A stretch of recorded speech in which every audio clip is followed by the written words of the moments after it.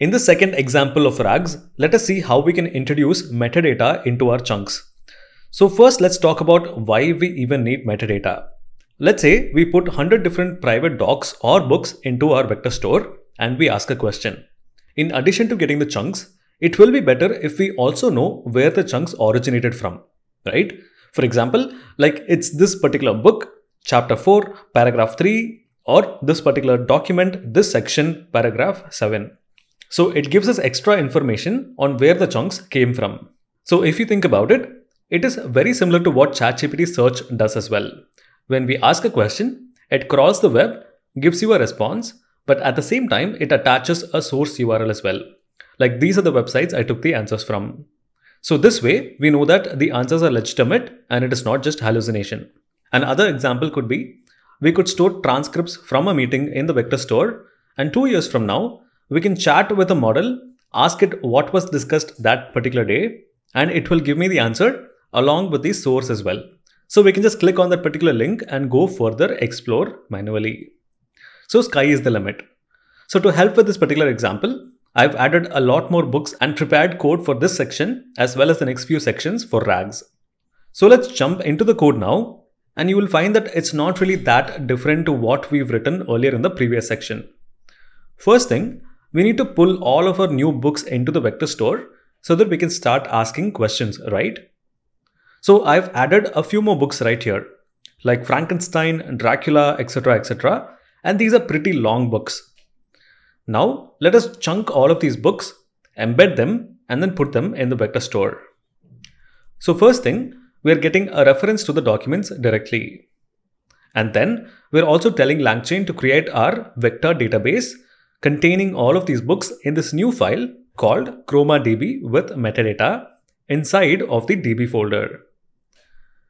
So we're using a different database file this time.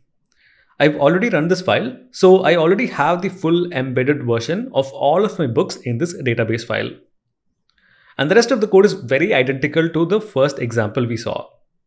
We're checking if the database is already created or not. If it's already created, we do not go inside of this if block. So coming in, this is where it's slightly different. Basically what we did the last time, but this time we're embedding several books. So the first thing that I'm going to do is go inside of the documents folder and search for all the files that have a txt extension. As you can see, I've, I've got all the books with the txt extension. And this line is going to grab all of those book file names and put it in this array. All right now, we're looping through all the book file names and with each book file name, I'm going to load it in memory using the loader and I'm going to add it to the final documents array. Very, very similar to what we did earlier, but instead of just one book or document, we are doing several right here. But there is one more additional thing that we are doing. Along with the document, we are also going to be adding a metadata to each document. Okay, so we can have as much information that we want, but for now, I'm just saying source and I'm adding a book file to the source. So if I'm loading the Frankenstein book, the book file name is going to be Frankenstein. And from here on, we're going to go through the same process. We're chunking the entire list of books and then we're specifying the embedding model that we're going to be using to embed, which is going to be the next step. And finally, we are creating the vector store by providing the docs, the embedding model, plus the final DB file it should create and put all of the embedded data in. And as I already told you at the start, I've already ran this file so I already got the DB file created with all the chunks embedded. So let's now go to the next section where we can actually ask questions to the RAG system. So what we're going to do here is pretty much the same. We point the file to the new DB location that we've just created a minute ago. So this was the DB name if you remember. So this line loads the DB file up. So we provide the location as well as the embedding model. So here is the query that we are going to be asking. So it is going to be where is Dracula's castle located? If you're familiar with Dracula, he's a vampire that lives in a castle, and this is the question that we're asking. And obviously, somewhere in the book, the location of the castle will be mentioned. So our super intelligent RAG system is going to retrieve the relevant chunks when I run this file. So let's look at the next piece of code. And here we're configuring the retriever. we're still going to be using this type of searching, the similarity score threshold. And we're also going to be specifying the count should be 3 and the threshold value should be 0.3. This is the number that works for me because if I reduce this, it doesn't give me any results. So in your applications, you will have to find the right balance. And finally, we are going to be using the magic keyword invoke. And if you remember, it does two things, right? It converts the user question into an embedding. And now, and now that we have a query that is in an embedding vectorized format, the book content, which is also in a vectorized embedding format, it goes out, queries the top three chunks. And finally, it prints out all of the chunks. So I'm pretty excited to run this file. Let us see if we're able to find the answer in the retrieved chunks. But let's run this file. So it's going to take anywhere from 4 to 10 seconds.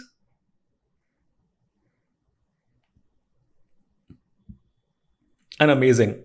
We now have three chunks and these are pretty big chunks. We know that Dracula exists in this town called uh, Transylvania. If you've watched any of the animated movies, etc., etc. So let us actually see if the term Transylvania is present in any of these retrieved chunks. So as you can see, we have Transylvania mentioned in the third line and also in the seventh line. I had visited the British Museum and made search among the books and maps in the library regarding Transylvania. And also down here, it is giving the exact locality of the Castle Dracula.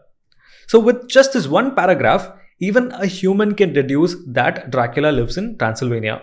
And more, even more importantly, we can also see the source of the chunk, which says dracula.txt. Because if you remember, we added the book names as metadata to each of the chunks. So let's now move on to the next chunk and let's search for the term Transylvania. And you can see that it is not listed in the second and third chunks, but it probably gives more information that the Dracula does live in Transylvania. So you can see that it says, thus, when we find the habitation of this man that was, meaning the Dracula, so it is still talking about the location of the Dracula. So we only have three books right now, but imagine 100 books, 1000 books or private company documents, right? And how RAGs basically allow the possibility of chatting with it in natural language and be able to get that answer, right? So I hope that you're starting to see the power of RAG systems. So that is basically how we can add metadata for each of our chunks. All right. So the next step is basically to send all these retrieved chunks along with the user's question to the LLM so that the LLM can actually look at the uh, chunks that might potentially have the answer to that particular question and it is going to give us the answer which is going to be in this case Transylvania. So we will see how we can do that in the next section.